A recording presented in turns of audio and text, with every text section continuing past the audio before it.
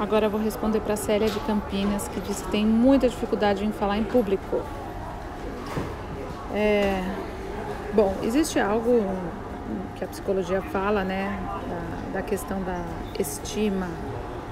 Quando nós falamos é, sobre algo que a gente domina, quando a gente não tem que provar nada para ninguém, a gente simplesmente flui naquilo que nós viemos fazer, né? E uma pessoa que veio para falar em público, ela realmente tem esse dom e essa capacidade e ela tem que deixar o ego dela de lado para ela cumprir o trabalho dela, o serviço dela. Né? Imagina se o médico tivesse insegurança de fazer uma cirurgia, se todos os médicos tivessem uma segurança, insegurança de fazer cirurgia, então não existiria cirurgia.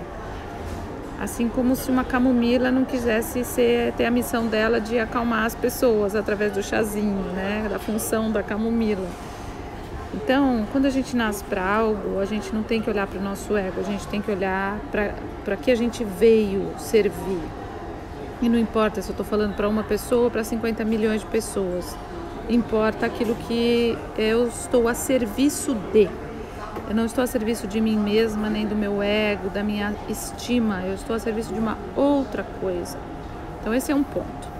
O outro ponto é famílias que têm muitos segredos ou quando a própria pessoa tem algo que ela esconde dela mesma ou ela tem vergonha de assumir algo.